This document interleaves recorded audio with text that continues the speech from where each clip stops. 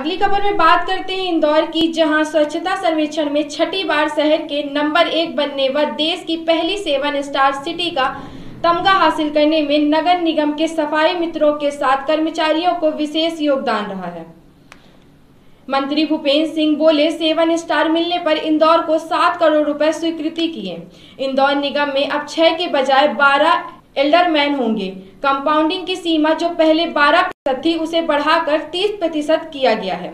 भवन अनुज्ञा की समय सीमा 30 के बजाय अब 15 दिन की गई। उन्होंने कहा कि प्रदेश में 1500 पब्लिक ट्रांसपोर्ट के वाहन और 217 ई चार्जिंग स्टेशन बनाए जाएँगे।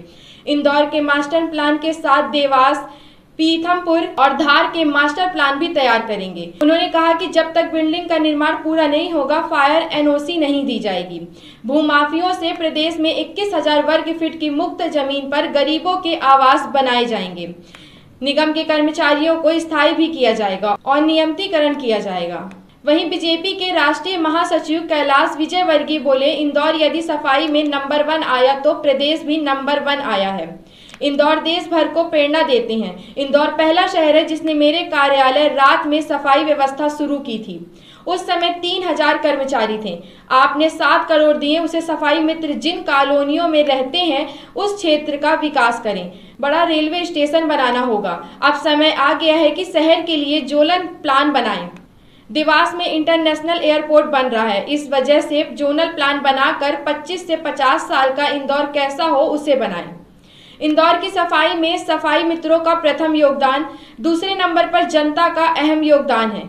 यहाँ के कलेक्टर उज्जैन कमिश्नर बनकर गए। क्या उज्जैन नंबर वन बन पाया? ऐसा नहीं हुआ।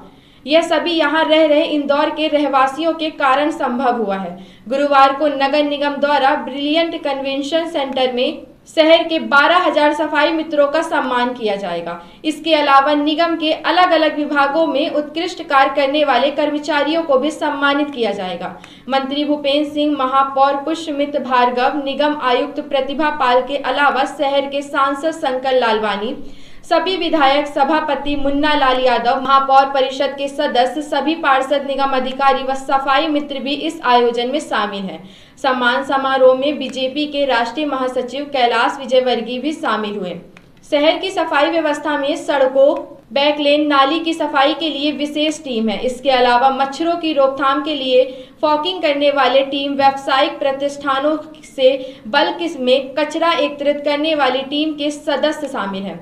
इसके अलावा शहर में डोर टू डोर कचरा संग्रहण वाहन चलाने वाले 500 ड्राइवर पोकलेन डंपर व वा अन्य वाहन चलाने वाले ड्राइवर व वा हेल्पर का भी सम्मान किया जाएगा। सर्वेक्षण व अन्य कार्यों के दस्तावेज़ तैयार करने वाली टीम विद्युत लाइट प्रबंधन व उद्यान विभाग की टीम का भी सम्मान किया जाएगा। कार्यक्रम में निगम के नियंत्रणकर्ता अधिकारी, जोनल अधिकारी, स्वास्थ्य अधिकारी सीएसआई सहायक सीएसआई सभी दरोगा व ड्राइवर का सम्मान किया जाएगा। गौरव तलब है कि सफ़ाई मित्र बारिश, धूप की परवाह किए बगैर शहर की सड़कों की सफ़ाई कार्य में जुटे रहते हैं। गौरतलब है कि नगर निगम द्वारा स्वच्छ सर्वेक्षण का पुरस्कार हासिल करने के पश्चात इन लोगों का सम्मान किया जा रहा है। उनके लिए एक विशेष भोज का भी आयोजन किया गया है।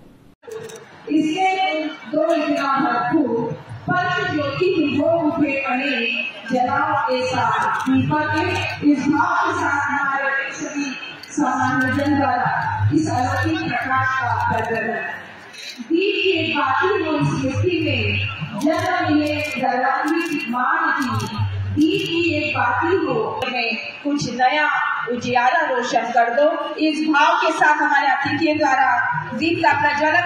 बहुत बहुत सफ़ाई मित्र सम्मान समारोह आज व्यक्तित्व का सम्मान जिन्होंने क्षेत्रों में लगातार छठी की निर्देश दिलवाई, हमारे साथ मंच पर प्रदान कर रहे हमारे व्यक्तित्व आदरणीय माननीय भूपेंद्र सिंह जी, मंत्री मध्य प्रदेश शासन। स्वागत करें सर्वप्रथम जोरदार तालियों से आप सभी का स्वागत, सम्मान कीजिएगा।